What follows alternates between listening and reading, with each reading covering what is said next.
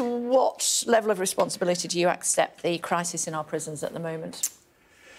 Well, clearly, you know, the prison populations are large and we could have delivered more places, but we were delivering them at record levels, 100 a week last year. We, we planned to deliver 20,000 places, £4 billion of investment. We've delivered 6,000 of those, 14,000 to deliver.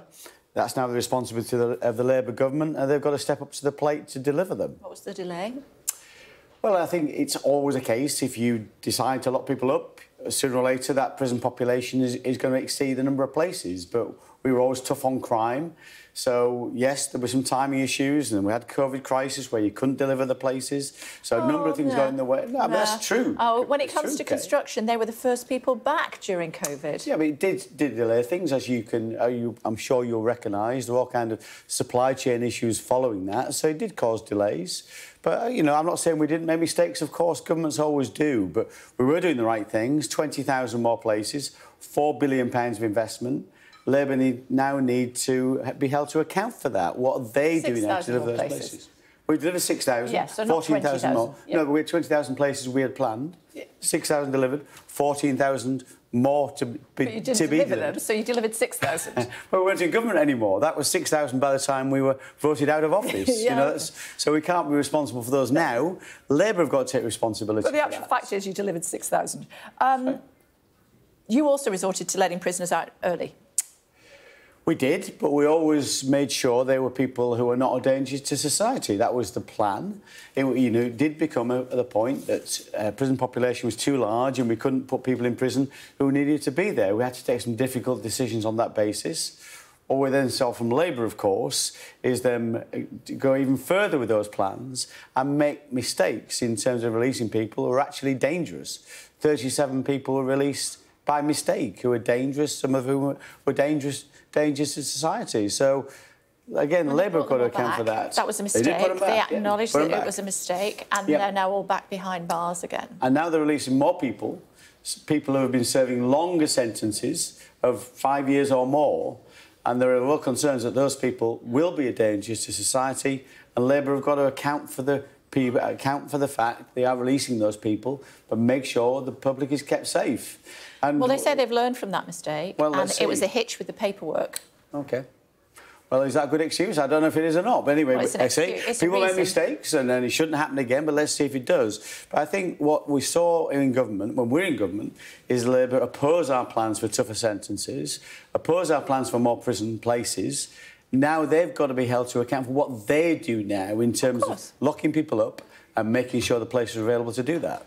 That happens on this show, trust me. Um, how do you feel about the fact that a former Conservative Justice Secretary is now leading the review on behalf of the Labour Party, the government? Well, David Gauke's a good man. You know, I was, uh, he was a friend of mine when in Parliament, you know, and, you know, my mum rehabilitated offenders. That's what she did. She looked for uh, jobs for them and places for them to live. And we want to try and make, want to make sure people who wouldn't do well in prison or prison's the wrong thing for them have other alternatives. That wasn't something we were happy to look at, and and um, so we should look at different solutions for different types of person. But, um, but nevertheless, that should not mean that dangerous offenders don't end up in prison. And I worry about things like house arrest, for example, whether that sends the right message to people who are thinking of committing a crime, or, well, it doesn't matter because we're not going to go to jail anyway. So there has to be that deterrent of prison and a way to keep the public safe. Talk to me about the Employment Rights Bill. The government says the Employment Rights Bill will help exploitative zero hours contracts and fire and rehire practices and strengthen statutory sick pay. Well, we're very concerned about it. We're not against the workers' rights elements of it. We strengthen workers' rights in our time in office, time and time again. I think the concern we have here is twofold. The impacts on small businesses, a £5 billion cost in their own impact assessment that Labour didn't issue, we didn't release till a few hours before the debate yesterday. £5 billion. That's £3,000 for every single business in this country every single year. And the ones that will suffer worse from that are small businesses. This is existential for small businesses. It really could. If you get somebody takes you to, an employment tribunal, as they will be able to do from day one of their employment, it means your business could be finished because it can take thousands of pounds, perhaps tens of thousands of pounds to, to defend that claim it may be a spurious claim, and that can happen, though. So small businesses, we have real concerns and some of the bureaucracy around this. But the biggest concern we have, new powers of trade unions that we've not seen since the 1970s. I remember the 1970s, you're probably too young, Kay, but, oh, uh, but it was not a good place to be in the UK. And this is the powers they are getting unbridled powers, scrapping of all thresholds in terms of union representation, negotiating with employers, calling people out on strike. No minimum thresholds needed anymore. Massive powers of trade unions.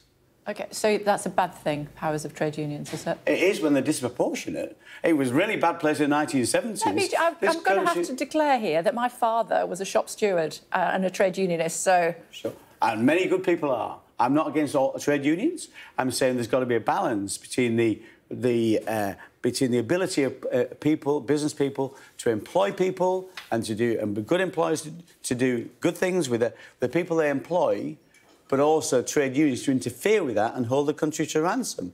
These measures do not just affect the public sector. Any private sector business in the UK, regardless how big it is, will have to give access to trade unions to come and talk to their staff with a view to recruiting those people in a trade union.